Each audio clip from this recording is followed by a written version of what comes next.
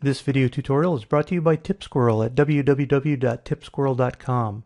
For all kinds of Photoshop and Lightroom goodness, follow at TipSquirrel on Twitter or go to facebook.com slash tipsquirrel. Hello everybody, Mike Hoffman here, and we're continuing my series on learning 3D in Photoshop CS6, and today we're going to be talking about lights. We're working with a model here that I've imported as a 3D file into a 3D layer. And this model comes to us from turbosquid.com where I was able to download this for free. So here within my file, I've imported this model as a 3D layer. And when I did, it came in with an infinite light. Now within Photoshop, we have three basic types of lights plus one special kind of light. And we'll get the special kind of light out of the way right at the beginning here. Notice the funny reflections. These are coming from the environment, and this is an image-based light.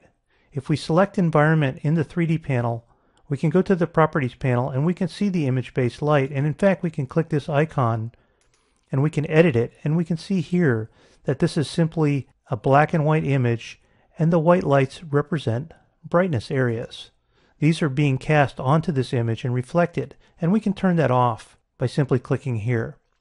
We'll learn how to add some interesting image-based lights in the future, but for simplicity's sake today we'll leave this off, and we'll go back to the infinite light. Infinite lights are like the sun. They hit the entire model at the same time from the same direction. We can change the direction with the infinite light selected and the move tool active we can go to the 3D options here and make sure that we're using the rotate to 3D object. And we can simply drag this around. And notice how the light is coming from different directions. But in the case of an infinite light, because it's like the sun, it has only a direction and an intensity. Now we can control the shadow. Notice the shadow here that's being cast, and it's controlled by this option here in the Properties panel. If we deselect this, the shadow goes away. We also have a slider here to control the softness of the shadow. All the way to the left, it's like harsh sunlight. When we take it to the right, it softens the shadow up quite a bit, and now it's more like a cloudy day. Now this will look more realistic once we do a rendering, but for the working view, this is pretty good. Now we're going to take this up and leave it a little bit harsher for now.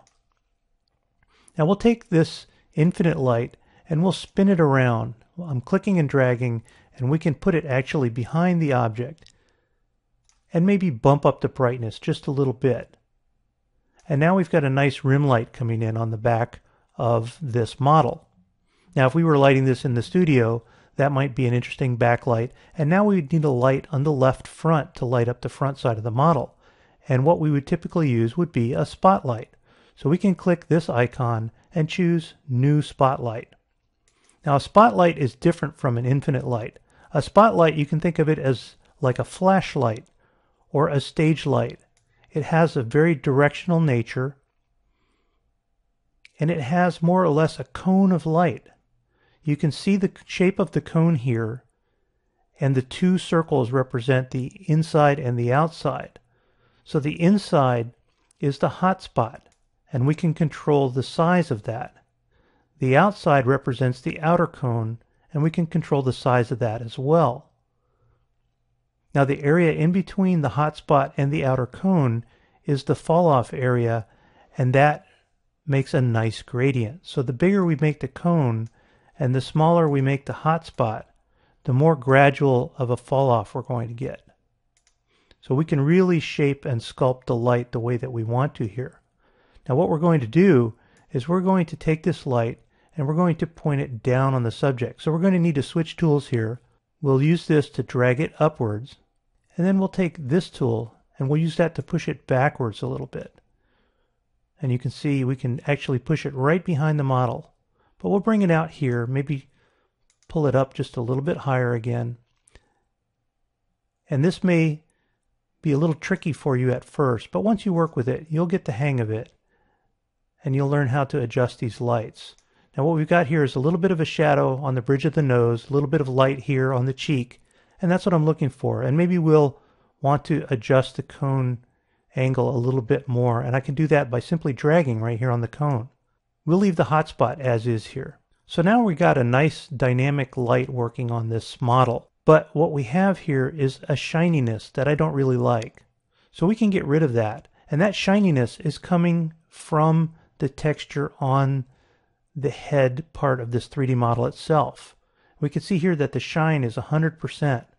We can back that shine down, and when we do, the texture gets a lot more diffuse. But at the same time, this light becomes a little hot. So let's go back to this spotlight, and we'll back the light down just a little bit in its intensity. That looks pretty good. And we'll go to the infinite light, and we'll back its intensity down a little bit as well. Now let's add a little bit of dynamic here.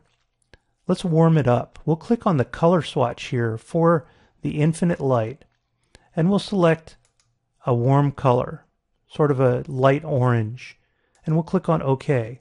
And now you can see we've got that coming in from the infinite light that's shining from behind the model. Let's go to the spotlight. We'll click on the color swatch here and we'll add the same color. Now we've got a much more warm light going on. We could even add an additional spotlight. If we wanted to, we could click here and choose New Spotlight and maybe put one right here in the front. We'll drag it over to the side and we'll use this to illuminate the other side as a fill light. Now it's much too bright, so we'll need to turn the intensity down considerably here. And we'll just use this to provide some additional fill light on this side of the model's face. Now for consistency's sake, we probably want to match the color. So we'll do that as well. And now we've got a nice warm color on the model all the way around. So we've got an infinite light coming from the back and we've got spotlights coming from the front. And it looks pretty good.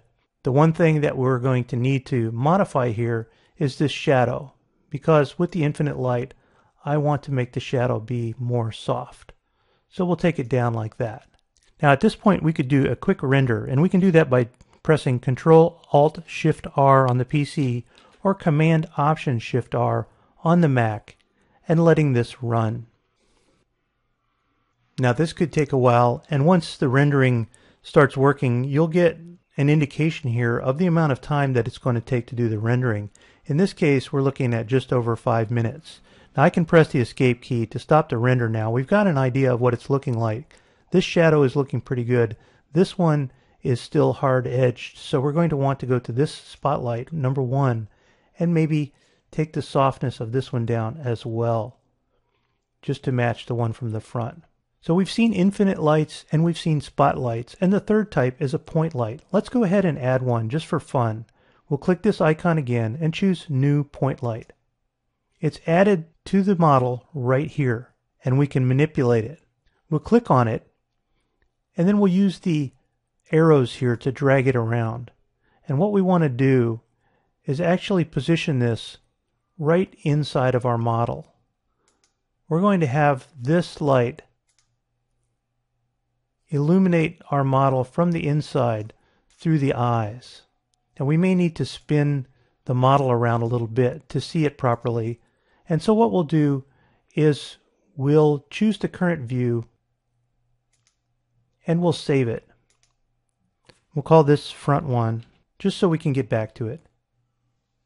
Then we'll spin this around a little bit so we can see what's going on with that light. There it is. Again, we want to drag this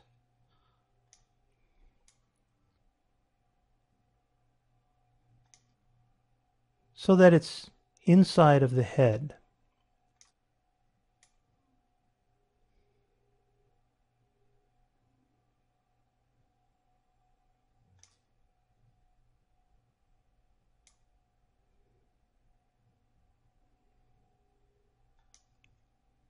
I think that's got it. So let's go ahead and select current view and we'll return to the view that we just saved.